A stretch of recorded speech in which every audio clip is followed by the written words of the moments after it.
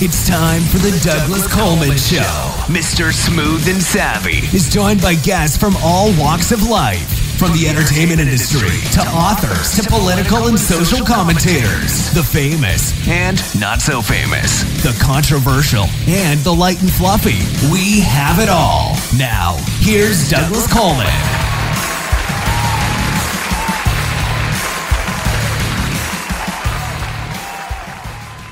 Okay, please welcome to the Douglas Coleman Show, Ed McDonald. Hi, Ed. How are you?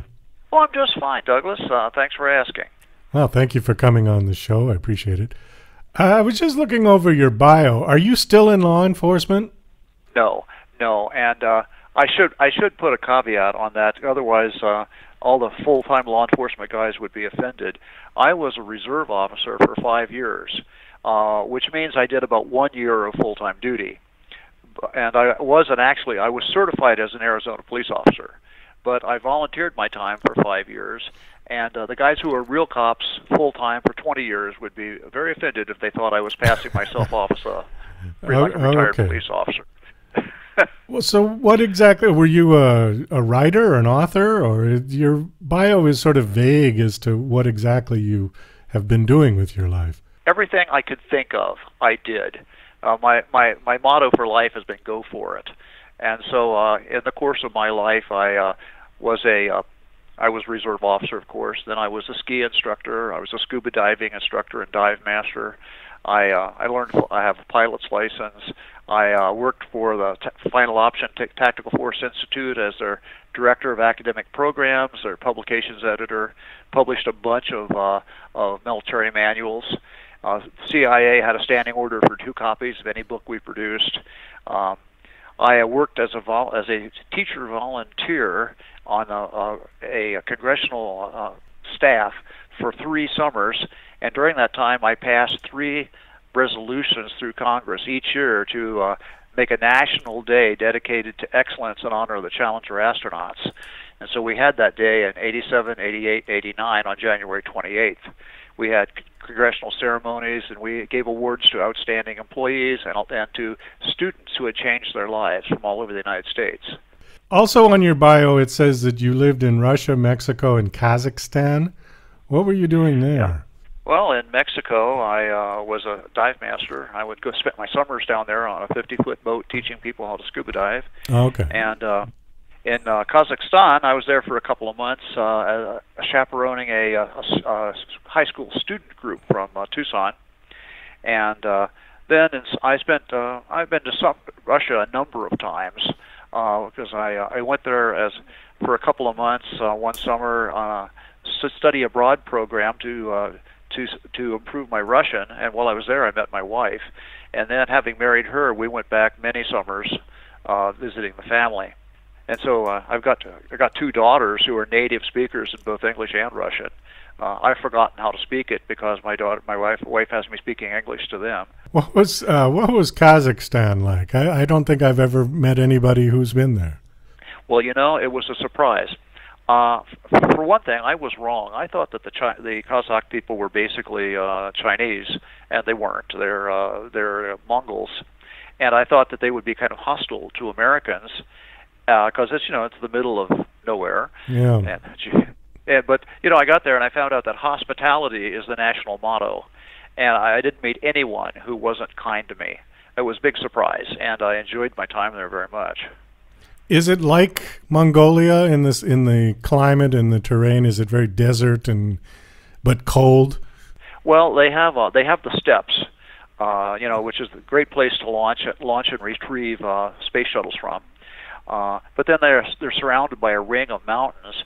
I was in Almaty, which for many years was the capital, and outside of Almaty they had a ski area, and from the ski area you could look into China. Oh, okay. Is what is the? I know it's a Muslim country, right? Yes, it is. It, what language do they speak there?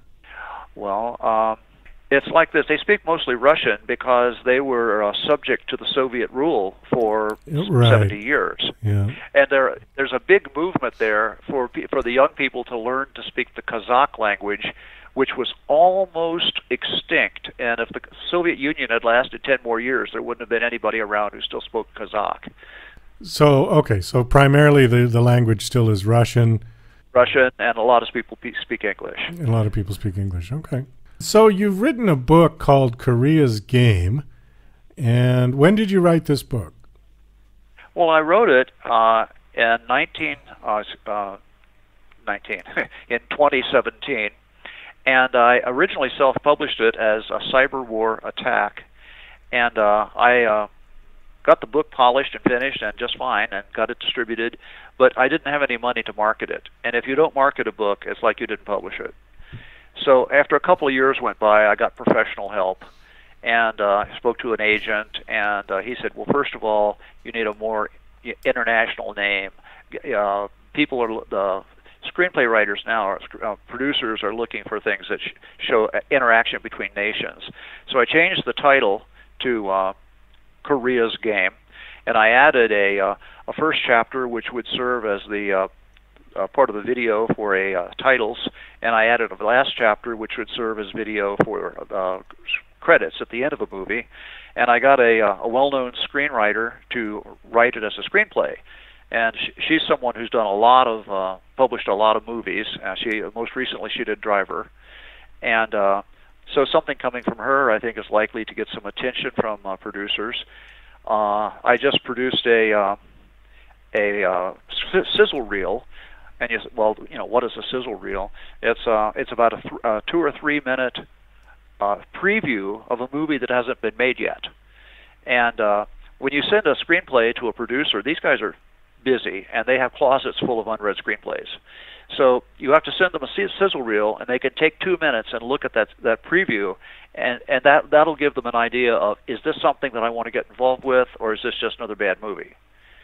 And uh, so I've got the sizzle reel out, and right now I'm in the middle of a of a promotional push to find trying to try and find a real publisher, uh, a name publisher for the book, and a producer for the movie. And of course, our in the current climate, everybody's goal is to get uh, one of the ca- streaming cable companies to pick up a book because uh, there's a there's an awful lot of money in streaming cable. Sure, there is. Yeah. Well, I've got a 500-page book, so it was easy to get a lot of chapters out of it. So I, when I, when we uh, after we uh, got the screenplay made and the sizzle reel done, I divided it into 12 episodes, and I wrote a page for each episode outlining it. And so we sent the we were sending the book out with the screenplay and the proposal for 12 episodes. And we're hoping one of the c- cable companies will uh, look at the episodes and pick it up. And uh, here's a bit of trivia that people might be interested in. When you make a book proposal or a screenplay proposal, everybody's interested in sequels. So you write what's called a uh, a, a proposal bible, and uh, what that means is you uh, you list the sequels that are to come, what they're called, and the, what the basic outline of each sequel is. So they can when they can look at it and they say, okay, book one is interesting, but what follows it? And uh, because they're all thinking about the next movie and the next movie. Because if it's popular, then they want to have their hands on it and uh, get rake in the money from the the sequels. Uh, that's very true. Yeah, I'm kind of familiar with the screenplay game. I've written a couple uh, myself. I haven't written a novel though, and I know it's two different two different creatures entirely. Writing a novel, it's almost the opposite of each other. One is a lot of words and one is very little words to basically describe oh, yeah. the same thing. You know, it's a, it's a diff- whole different mindset. But um, well, okay, that sounds interesting. So I guess the next question is, tell us what it's about. It's about a guy who's got trouble, and he's got more trouble than he realizes. Uh, he's a he's a, he's he's a former Army Ranger. He's won the Silver Star. He's an important important guy, nice guy, but he's very modest. Most people don't know anything about him and uh, his uh, comes from a uh, he was disowned by his family because his uh, father was a pacifist and uh, actually was un- not proud of him for winning a Silver Star, and so he a little confused about whether he's a good guy or not. So he doesn't he never talks about his past, and he's a civil servant. His job is uh, preparing. He's from the director of emergency preparations, and he's to see to it that if there's a disaster, that his uh, his township is ready for it. And uh, he personally is deeply concerned that America is going to be the subject of a cyber attack from North Korea, and he's trying to get people in, uh, to do things that would mitigate the the effects of such a disaster. A disaster like that, you know, it's not going to go away. Everybody thinks uh, a cyber attack means lights go out, the army comes in, fixes everything, and a week later we're all back in business. But a real cyber attack would put us out of business for more like 10, 12, or 15 years uh, because it would crash hundreds of these big transformers that are in, that are set up like dominoes across the country. You know, when one crashes, it crashes the next one, and it crashes the next one, and each one costs more than a million dollars. Uh, each one is uh, 75% of them are made in Europe, and uh, it takes a, over a year to get one and it costs millions of dollars to get it, and then it has to be transported in a freighter, put on a special train, put on a special truck, taken there, installed. It takes forever to get a new one in, and then you've got one, and now there's like 400 more in a row to go. Uh, so you're talking about years and years to get a line uh, uh, to get the system back up. Uh, no, nobody wants to think about that because it's so it's uh, there's no simple solution, and uh, the idea is so terrifying. They don't want the public to think about it. This is yeah, cyber attack, meaning uh, online, or is this uh, like infrastructure, like electricity? Uh, it's online. Uh, there's there's two ways for a cyber attack to be set up. One is to to basically hack into an existing system, which in, in some parts of our cable system, our, our system would be very easy to hack into. Another way to do it is to uh, take control of one of the companies that provides some of the microchip circuit boards that would be used in constructing one of these systems, and out of uh, like I don't know, say uh, say there's a million chips on a board, you take one chip and you put a piece of malware in there that there would be no simple way to test for it, and so you have these circuit boards all over the place, and each one of them has one piece of malware in it, and if it gets the right code, it says destruct, destruct, destruct. Uh, so you could have uh, there's uh, two ways to go about this, and probably uh, there are four, there are foreign, foreign agents going about both ways. Um, at this time, it's pretty well conceded by the people who know that uh, there are four uh, external agents who are prepared to do this, and that's China, Russia, Iran, and North Korea. China and, and Russia, there's no way they're going to do it because we know they did it, and we would we would respond with nuclear force. Uh, Iran, they wouldn't do it unless they were in the middle of a revolution and they looked like they were all going to get killed anyway. Uh, that's not too likely. Uh, but in North Korea, you have a leader who's unstable and who is constantly being told that he is uh, he not only is he God's answer, but he is actually God himself. And he could he could be persuaded to believe that he could do this and get away with it. And uh, he wouldn't get away with it, but he only has to think he would get away with it to, for him to do it. And that's what my book is based on, is that idea. You're listening to Mr. Smooth and Savvy right here on The Douglas Coleman Show. We'll be right back after these commercial messages. DJC Music and DJC Productions are pleased to announce a brand new website. We have started a listing website for radio show hosts as well as potential show guests. This is a meeting site where hosts and guests can come together. Show hosts can list their show and types of guests they're interested in booking. Potential guests can list their talents, bio, accomplishments, or anything they feel makes them an interesting radio show guest. There are no recurrent payments, only a one time $5 listing fee. Your listing will stay up until you decide to cancel. Previous guests of The Douglas Coleman Show are welcome to submit their guest listing free of charge. Go to radiohostsandguests.com. That's radiohostsandguests.com.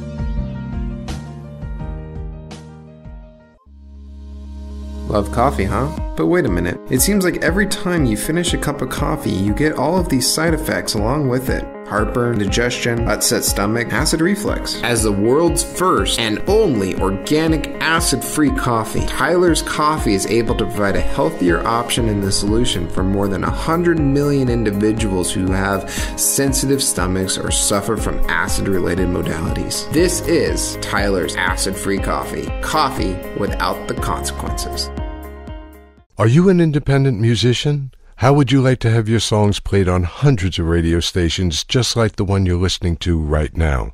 Join MusicSubmit.com and we'll promote your music to radio stations and blogs in your genre. It's free to set up your account, and we guarantee your music will be considered for airplay by radio stations worldwide. Why not sign up today? It's free. MusicSubmit.com. Radio promotion for indie musicians. Hey, hey, this is Ray Powers. Don't touch anything. You've got it right where you need it. Tuned in to The Douglas Coleman Show. You heard me. I've always wondered what gain would Kim Jong Un have to attack the United States? Uh, first of all, there's just the whole business of ego, and that we've uh, we've we've been pushing North Korea around, and uh, not really uh, in any inappropriate way, but uh, they're very these they're very, very you got a person here who's very proud and uh, to the point of it being like a, a mental problem. And so uh, he feels he has to, would have to just show us that you know you, you can't push me around.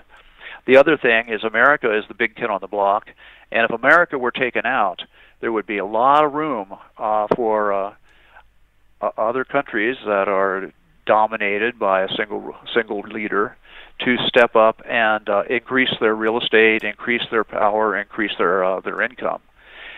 Now, the big benefic- beneficiaries, of course, would be China and Russia. But you know, uh, a lot of people, a lot of countries in the Middle East would be happy. North Korea would be happy. Uh, none of them would be going against him for doing this. They'd all celebrate him, and he'd probably have a lot more influence. Uh, he'd be able to make more money.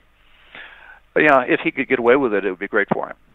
So essentially, he could get a promotion on the World Theater uh, if he were to take out the United States. I think that puts it very well. Yes. Yeah. Okay. And so you, you know, uh, it, you know, people when you start thinking about something over and over, you become obsessed with it. You can talk yourself into believing anything. It's an interesting concept, and I, you know, it doesn't sound like it's that far away from possible. I think I think it is possible. Yeah. Oh, yeah, it could happen today.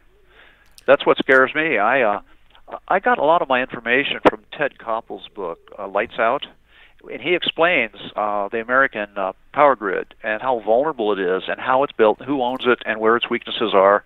And by the time I was through reading that book, I was terrified. And uh, because it was so factually based, it's not the kind of book that a lot, that attracts a lot of people to read it. And I thought somebody has got to take this information and make it available to people. The best way would probably be through fiction, because people like fiction, and they, and you can absorb knowledge while you're enjoying a fictional story. And that's what decided. That's why I decided to write this kind of a thriller. Have we, um, we as in our government, done anything to secure this, our infrastructure, our, uh, you know, any of these to protect against a cyber attack?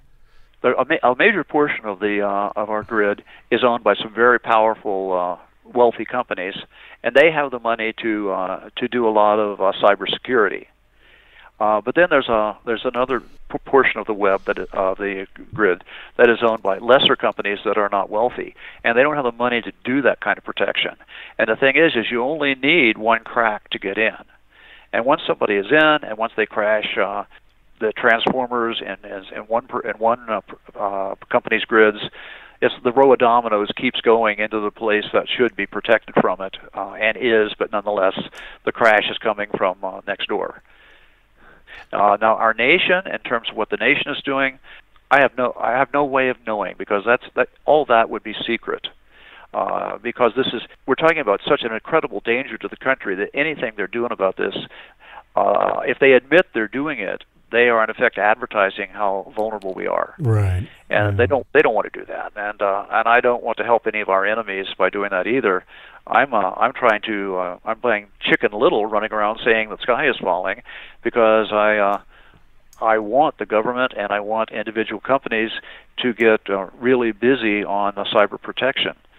And uh, exactly the details of how that would work are secret, and I don't know the secrets, and I don't want to know them because a lot of times if a, if a writer knows something, it can slip into your story, and you're not even aware you've let it slip in because you just intimated it without saying it. But people who are reading it critically, they can they can see what you're hinting at. So I don't want to do that. Well, we probably shouldn't speculate too much on it, anyways, because, uh, like you said, we'd be giving it away. People do listen to podcasts, and no. and, and, better well, that they read your book. I think is is more of a appropriate way to push them to find out more well, information. The book, you know? the book offers a, not a solution, but a mitigation. That is to say, we can't really solve this problem unless you know that's a that's an issue for the government or for a consortium of uh, of grid owners. But we can mitigate it by uh, distributed power, and that by that I mean encouraging anyone who can have their own power to have their own power. And of course, that's largely uh, in the province of millionaires or very much upper middle class people to do it for themselves. But as you as you do these things, the price drops. It's like solar cells. Uh, 20 years ago, solar cells were strictly for the filthy rich. Now, any middle class person can have solar cells on their roof because the price has dropped. Right. The uh, and the price of the controllers has dropped. The same thing will happen with uh, uh, distributed power. And when we talk about distributed power, you mean microgrids. And uh, like the Caterpillar company sells microgrids to people who are going to do construction jobs in the Amazon, and they're out in the middle of nowhere, and then they uh, they have ready to go microgrid trans- transport. You know, fly, fly it in, put it down, turn it on. Um, now those are expensive, but uh, the more you the more you make of them, the cheaper they get. You can make them smaller, and uh, you know this is the great thing about America is there's enormous ingenuity in this country, and anybody who has an idea for something can make it put it up for sale, and if it's a good idea, they can get rich. So if we uh, if we start push promoting micro microgrids, people will come up with better, cheaper ways to make them. And as they get better and as they get cheaper, more people will buy them. And so you'll find that the, every police every police station would have one. So if the, if uh, if the power goes out all over the country, you can still call the police and get a cop uh, come chase the people out of your backyard. Uh, fire departments should have them. So uh, if your house is on fire, you can still call the fire department and they'll show up. Uh, hospitals. Yeah. Now, hospitals all have generators, but those generators are only good for as long as they have fuel, which is like a week, a month, whatever. Uh, they really need microgrids, something like the solar and wind power that can last for, for years. Uh, but they don't want to think about that because it's more expensive, and uh, you know who knows, who knows what will happen in a real disaster. Well, one thing for sure, in a real disaster, we would need hospitals. Uh, my, you know, all of these uh, uh, go to it emergency uh, care centers should have their own power. Uh, the, the, in any city of any size, their their water system should have its own microgrid, so that if the if the power goes down, people can still get water. Uh, uh, I actually I would like to see really big shopping centers have their own microgrids. Now they would have to do this as an act of uh, patriotism or charity because they're not going to make any money on it, but uh, they would provide an island of safety for people who could come and buy a hot dog and get a drink and get out of the heat, get into the air conditioning, or out of the out of the snow and get into the warmth. Um, and that would just be a charitable act on their part. But the more that we make distributed power available, the cheaper it'll get, and the more places will adopt it. Will that stop a, a, a grid crash? No, but it'll make the the uh, the disaster of a grid crash less disastrous. Well, that's very true. Uh, Ed, we do have to wrap this up. Do you have a website that you want to give out that people can check oh, out? Absolutely. Yeah. Uh, it's www and then uh, the word author, and that's not the name Arthur. It's the name. It's author, the person who writes a book. A U T H O R. Author Ed McDonald, all one word.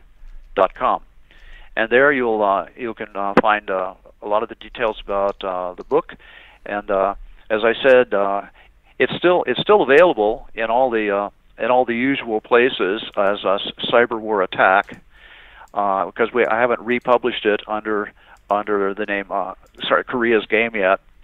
But uh, we have all the information about the book, and also the sizzle sizzle reel is available. You can get get a preview of what I'll be showing to movie producers, trying to get them to buy the book or to buy the screenplay. I'm kind of hoping that uh, book re- book producers would look at the sizzle reel because you know they're not real big on reading manuscripts either, uh, and uh, so you'll you'll see what, what how, you know what a promotion what a real promotion looks like for someone who has a book for sale and of course, you know, here I am on the air. I'm going to I'm going to be doing a lot of uh, interviews for the next couple of months, and I'm uh, I'm hoping that uh, somebody's executive assistant will be driving their car, listening to this, and saying maybe we should look at this guy's book, maybe we should look at this guy's screenplay. Uh, that's uh, that's that's the that's the thought that makes me smile at night. well, let's hope so because I think it's real interesting, and I, I think it would make a great movie. I mean, it's uh, definitely something that is uh, thought inspiring and, and a bit terrifying for people, but that's always what makes a good thriller. You know, I did leave uh, something out here. There's uh, uh, we talked about how vulnerable we are to cyber attack. We talked about the importance of renewable and distributed energy. One of the other big elements of the of the of the the book is uh, the fact that uh, this guy's daughter is a couple hundred miles away, and he's uh, separated from his wife. He's not supposed to go and visit. He uh, he t- he texts his daughter. He's not aware that his wife is intercepting the texts and texting back as as the daughter, and uh, the wife's boyfriend is uh, pushing this da- the the daughter to go into the sex trade. And she is the last person you would ever think would be in the sex trade. She wants nothing to do with it. But the thing is, when you have young girls, young boys, when you have young people, they need people to protect them. They need people to look out for them. And in this case, no one is looking out for her. None of the none of the people who should be watching her are watching her, and this guy is just dragging her, kicking and screaming, into dancing at a bar. And he has very clear plans about what he wants that to lead into. And she's telling him, "No, I would never do that." But he knows he can put her in a situation where she has to. And so, as you're reading this, you're seeing this guy fighting the good fight down in Arizona, and uh, and at the same time, you see his daughter encroached upon and menaced in uh, northern Arizona, and he has no clue. And you could you could kind of get the idea from his military background that if he knew, you you really wouldn't want to mess with him. And so throughout the whole book, you're just waiting to see, hey, what's going to happen here?